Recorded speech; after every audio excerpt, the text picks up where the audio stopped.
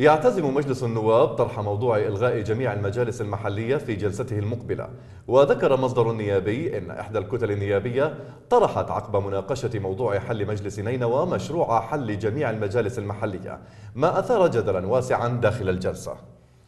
وبين أن رئيس مجلس النواب محمد الحلبوسي رحل الموضوع إلى الجلسة المقبلة حيث سيتم مناقشة حل جميع المجالس وليس مجلس محافظة نينوى فقط وأوضح المصدر أن عددا من الكتل النيابية أبدت رفضها لهذا الطرح كونه سيولد فراغا سيما وأن البلاد مقبلة على انتخابات مجالس المحافظات ولا داعي لحلها.